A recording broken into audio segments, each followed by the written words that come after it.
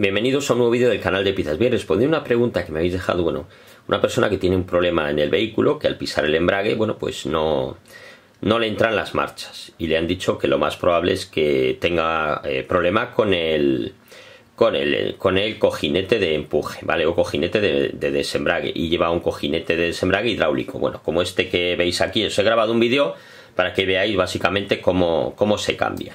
Mirad.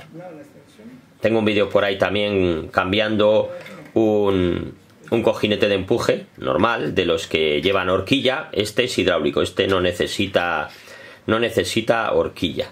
¿Vale? Aquí ya le acciona directamente el líquido de freno, ya sabéis que es lo que, lo que se viene utilizando ¿vale? para embragar y desembragar.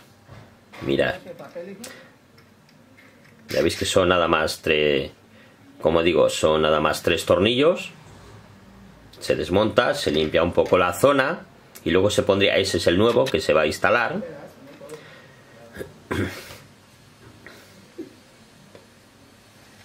Y se limpia un poco la zona, claro que sí. Importante para que no haya porquería.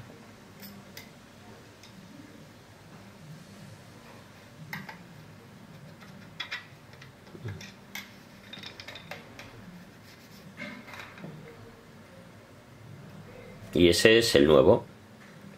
Veis tiene un tiene un capuchón vale que es como digamos como un tapón para que no le entre para que no le entre suciedad vale luego ese, ese se quitaría cuando se fuera ya a instalar en el en el vehículo.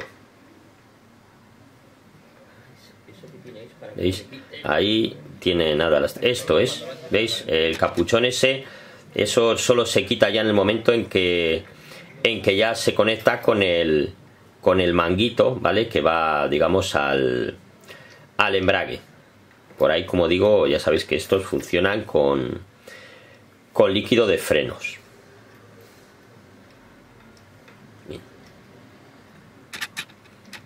Es que esta, esta operación vamos apenas dura pues eso un, un par de minutos. A veces no llega pero bueno por ahí para que veáis qué complicación pues pues no tiene. Mirad.